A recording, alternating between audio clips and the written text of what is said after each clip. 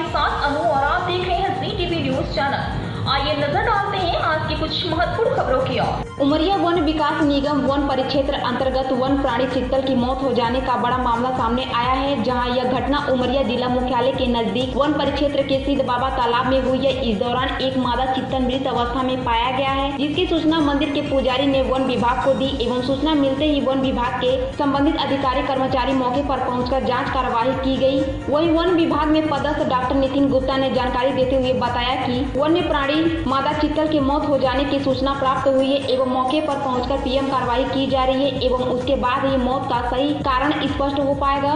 वहीं वन विकास निगम के वन परिक्षेत्राधिकारी राजेश्वर पयासी ने घटना के संबंध में जानकारी देते हुए बताया कि सगरा तालाब के अंदर वन्य प्राणी चित्तल की मौत हो जाने की सूचना मिली थी, जिस पर वन विभाग टीम एवं चिकित्सक मौके पर पहुँचे हैं एवं पीएम कार्रवाई के बाद चित्तल का सौदा किया गया है। प्रथम दृष्टिया वन प्राणी चित्तल के शरीर में आवारा कुत्तों के काटने के निशान मिले हैं एवं पीएम कार्रवाई के बाद मौत का कारण स्पष्ट हो पाएगा। गौरतलब है कि इन दिनों ज़िले के विभिन्न स्थानों में वन परिक्षेत्र अंतर्गत आए दिन वन्य प्राणियों की मौतें हो रही हैं, जहाँ संबंधित विभाग पर सुरक्षा व्यवस्था को लेकर सवालिया निशान लगा हुआ है। पेश उमरिया ऐसी शंकर सिंह की खास रिपोर्ट। इस समय वन्य प्राणियों की अत्यधिक मौतें हो रही हैं और जैसा कि सगरा तालाब में एक चीतल मृत पाया गया और वन विभाग से पूछे जाने पर उन्होंने कहा कि प्रथम दृष्टिया में ये कुत्तों द्वारा हमला करने से का कारण है। जबकि वन विभाग की ये ड्यूटी बनती है कि आखिर ये जानवर शहर की ओर आ कैसे गए? क्या उनके लिए फेंसिंग नहीं की गई है? और ये कहीं ना कहीं फॉरेस्ट की लापरवाही दिखाता है। अगर इसी प्रकार से लापरवाही रही और वन्य प्राणियों को इसी प्रकार से अपनी जान का खतरा मोल लेना पड़ा तो फिर वन विभाग क्या कर रहा है?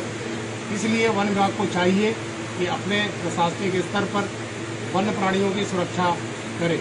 और अभी हाल में ही सकरा तालाब के पास में एक चित्तल की मौत हुई है, जिसमें वन विभाग के द्वारा ये कहा गया है कि किसी कुत्ते के द्वारा या किसी उस शिकार किया गया है। हमारा ये कहना है कि अगर यहाँ पर फॉरेस्ट गार्ड हैं बीट गार्ड हैं और चौकीदार हैं वो क्या करते रहते हैं? अगर इस तरह से कुत्ते अगर शिकार करेंगे चित्तल का शेर का शिकार कोई शिकारी करेगा कोई करंट लगाएगा तो इनके लिए कौन सी व्यवस्था है और कौन इनकी रक्षा करने के लिए आएगा तो हमारे आपके चैनल के माध्यम से ये मांग करता हूँ कि विभाग सचेत में आ जाए और ऐसे वन प्राणियों की रक्षा हो, सुरक्षा हो, ताकि इस तरह की अप्रिय घटनाएँ दोबारा न।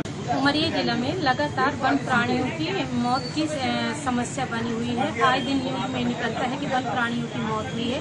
मैं वन विभाग व ज़िले के कलेक्टर से अनुरोध करना चाहती हूँ कि वन प्राणियों की सुरक्षा के लिए ही उचित इंतज़ाम। जो उमरिया जिला मुख्यालय का सगरा तालाब है, उसमें एक चित्तल मरा हुआ मिला है और निश्चित रूप से जो उमरिया ज़िले के आसपास जो जंगल है, उससे वन प्राणियों को ज़्यादा दबाव है।